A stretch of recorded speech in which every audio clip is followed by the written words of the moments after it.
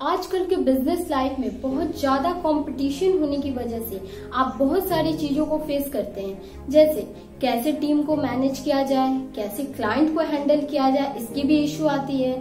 कैसे sales generate किया जाए, ये भी प्रॉब्लम आती है। तो इन सारे प्रॉब्लम्स को समझने के लिए आपको बेसिक्स जानने की ज़रूरत है। That is how to influence अगर आपको इन्फ्लुएंस करना आ गया then you can easily generate this you can easily manage your team member you can easily handle your client तो आइए, जानते हैं कि कैसे आएगा ये बेस्ट क्वालिटी और बेस्ट पे hello everyone once again welcome to my channel this is Devanshi Datta working as a marketing executive in Datta innovation guys अगर आप मेरे चैनल पे नए हो तो चैनल को सब्सक्राइब करिए वीडियो नोटिफिकेशन के लिए बेल आइकन को भी प्रेस करिए और वीडियो अगर अच्छी और वैल्यूएबल लगे तो लाइक कमेंट ज़रूर करिए। तो हमें सक्सेसफुल बिज़नेस रन करने के लिए क्या क्या क्वालिटी आनी चाहिए? क्या क्या आनी चाहिए? हालाँकि बिज़नेस रन करने के लिए तो टीम मैनेजमेंट भी बहुत ज़रूरी है क्लाइंट हैंडलिंग भी बहुत ज़रूरी है सेल्स को जनरेट करना भी बहुत ज़रूरी है।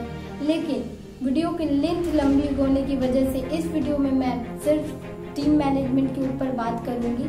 और नेक्स्ट वीडियो का टॉपिक रहेगा client handling that is how to handle your client तो आइए स्टार्ट करते हैं।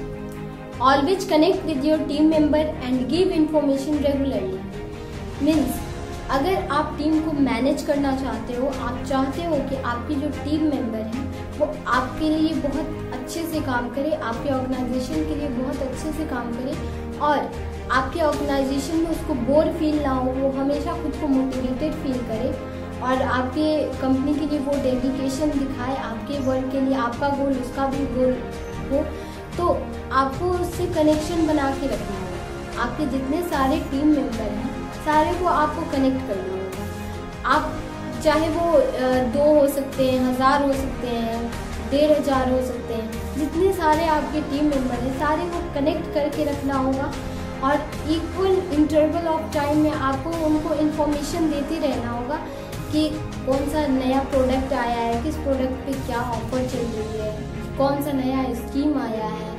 ये प्रोडक्ट खरीदने से ये ऑफ़र मिलेगा। तो ये सारी चीज़ें आपको उनको देते रहनी होगी, तब वो आपके ऑर्गेनाइजेशन के लिए बहुत अच्छे से काम करेंगे और खुद को मोटिवेटेड फील करेंगे।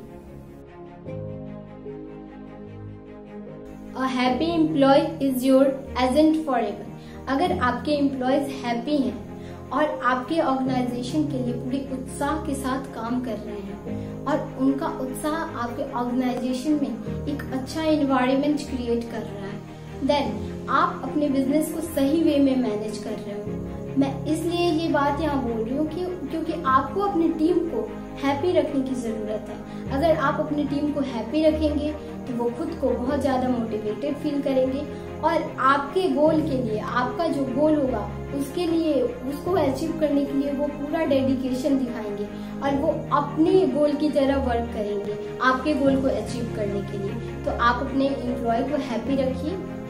Counselling regularly counselling regularly means आप अपने टीम मेंबर के साथ वीक में एक दिन बैठ के काउंसलिंग करिए और काउंसलिंग में डिस्कस करिए कि बिज़नेस बिल्ड करने के लिए वो क्या क्या कर रहे हैं क्या क्या करना है, आपने क्या क्या किया है।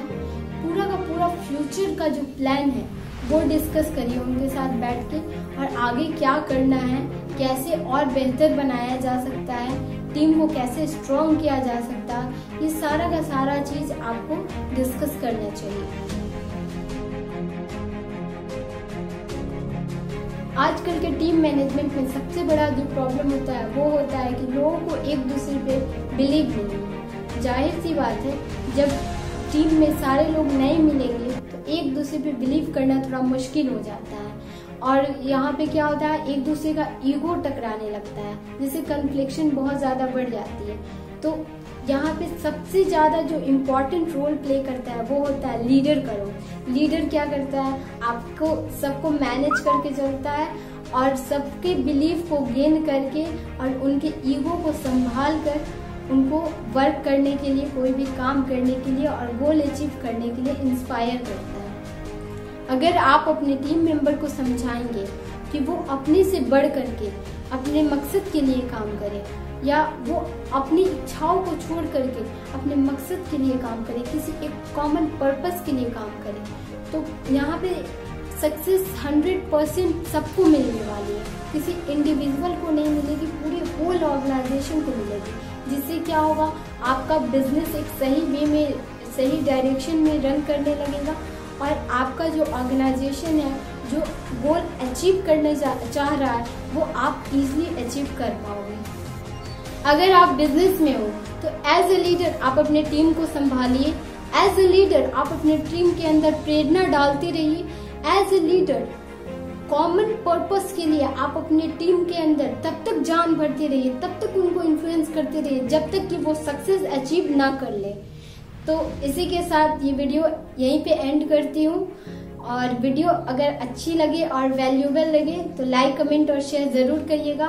एंड नेक्स्ट वीडियो का मेरा टॉपिक होगा how to handle client and आप मुझे इंस्टाग्राम पे भी फॉलो कर सकते हो। रेगुलर अपडेट के लिए लिंक आपको डिस्क्रिप्शन में मिल जाएँगे। And thank you for watching this video bye